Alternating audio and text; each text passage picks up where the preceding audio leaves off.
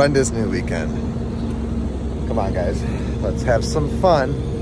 We got the Food and Wine 5K today. It's 2.53 in the morning. Walking up to go through security. I'm hoping to find some Run Disney friends, you know? My friends are at home still resting and sleeping. They're gonna come with me on Sunday, today and tomorrow, though 5K, 5K, 10K. I'll hold on the fort for all the cards, but it's the beginning of the Run Disney season. Oh, I'm excited. There's the first finish line. And look who's already at the finish line. It's Tweedledee and Tweedledum. Um, we're gonna see what characters there are today. My first Run Disney friends, and I'm confused. I'll talk later about why I'm confused about this finish line lineup, but it's a little confusing. Run Disney. Is Figment today? Let's go! We gotta see Figment! Figment's here! We got Figment, Lumiere, and Bow. We got Mad Hatter. Oh, it's just a statue. what? We want the real Figment. Yeah, Figment, Bow Lumiere, Mad Hatter, and Bruno and Mirabel. Look at all the runners. Look at all the, the happy, happy runners this morning. It's like 4.30. I'm in A Corral for 5K. Gonna maneuver my way towards the front. This is the holding zone. The corral, we'll move our corral soon, probably in like 15 minutes over there.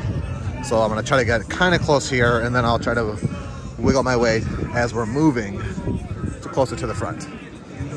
Can't wait to be in World Showcase. Got 10 minutes till showtime.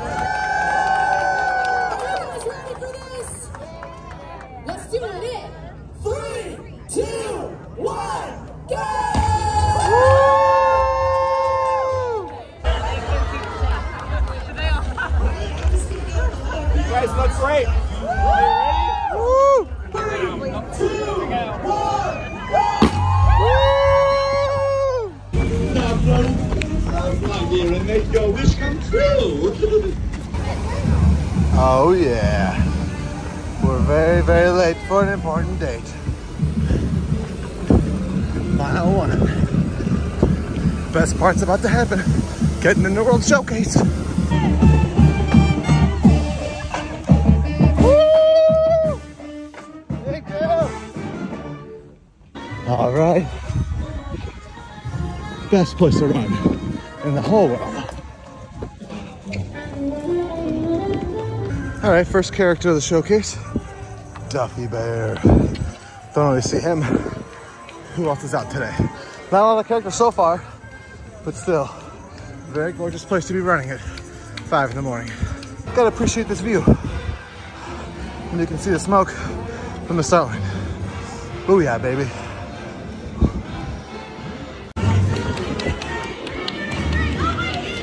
Okay, okay.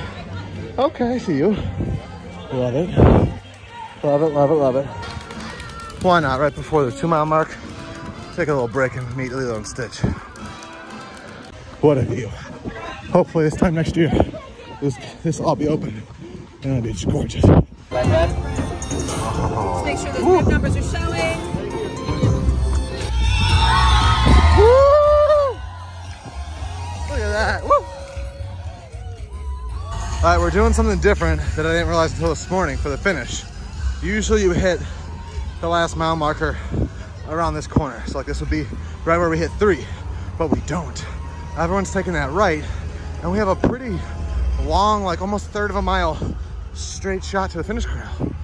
It's a bit different and it's shifted further to the right or further, I don't know, south or north than my near half decade of running around Disney. The finish line has always been the one way, but it's slightly shifted.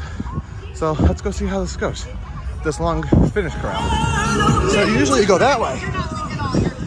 But today, we're going straight. You see here's mile three. And we continue straight to the finish. Kind of different.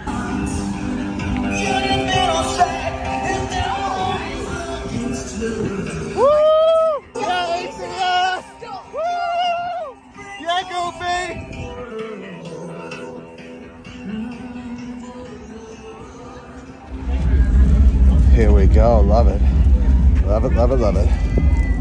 This is what I think is the crazy thing about the 5K is there's so many runners and the way they stagger it. I'm a modest runner, I would say. And like there's still a decent, there's probably at least three or four waves. You know, no, I'd say even five or six looking at that of waves of runners to still start. Whew. They make us walk so far. I think I'm just gonna go back to the finish to try to go see some friends finish. 2,000 years later. We're at the Polynesian, going to meet up with the Earharts to go see Christmas trees. Oh, Christmas gingerbread house. One. One, one big one. Sometimes it's nice just to hang out on the couch and watch some Disney Junior in the lobby of the Polynesian. The lack of sleep is catching up with me, guys. Come on, you little spider monkey. Look at that. What a welcoming. Wes playing beautiful piano with a gingerbread house. It's not open, is it? I think they just I think they just constructed it. There's just something right about the world. This reminds like this gives me the same vibes of, of like State Street in Chicago at the holidays. Like this gives me a similar warm and fuzzy feeling. Are you feeling warm and fuzzy? Yeah, and tired. You can feel all those things at once. Sure. I am a complex human. We're very into Cinderella these days. Obviously, this is what we're here for. That little chocolate bit is here all the time. But they're not quite open yet to buy shingles and things, but still smell it and still look at it. I see that bird up there? Wow. Whoa, this bird's fighting the wind. So is Jamesy. Now this is a beautiful evening. It's just like gorgeous out, beautiful temperatures. So the walkway between Grand Floridian and Polynesian is down. So the options are with our big stroller to take the monorail all the way around. Or, I don't know if it's because of the wind or not, but they've got some of the big boats out to go between.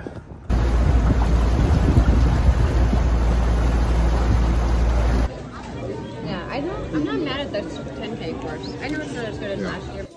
We're living off one hour of sleep, caffeine, and a dream. Teddy. Whoa, whoa, whoa. Um, PSA.